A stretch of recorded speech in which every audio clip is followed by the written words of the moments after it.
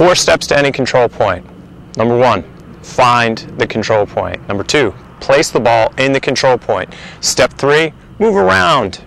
Move, move, move around. And then step four, throw and catch in the control point. Step four, throw and catch in the control point. I have to say that the reason that you, Rich, are doing this is so that you can explain point to point. Yo, Andy, what's up? Uh, Andrew Wilson showed me point to point, and basically what point to point is, is you take a whole bunch of points on your body and you connect the dots. Now, the one thing you'll notice is I've been using a reflective ball. That's on purpose. Sun's over there. You can see it, and it's awfully bright. So if I was to use a clear acrylic right now, it would burn my arm because I'm trying to keep it in one spot. So try to use a ball that's not going to kill you.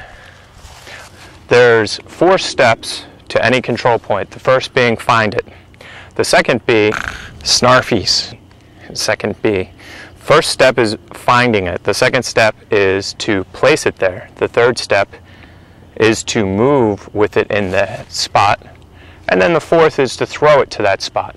Now I'm using a precise roll, snarfies, or a precise throw and catch, which is otherwise known as a roll, to get it there. Now, this is probably a control point that most people learn first. Uh, it's called the cradle. There's a lot of different versions of the cradle. There's the two finger cradle, Amber V, Vulcan cradle, way outside, classic three finger cradle, and then the, I've never really seen anybody do three finger cradle. Four steps to every control point. First step, find the control point. Step two, place the ball in the control point. Step three, move around.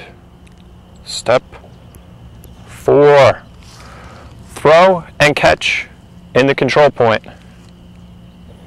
And remember, a roll is a precise throw with a precise catch at the end. And that would be a precise drop.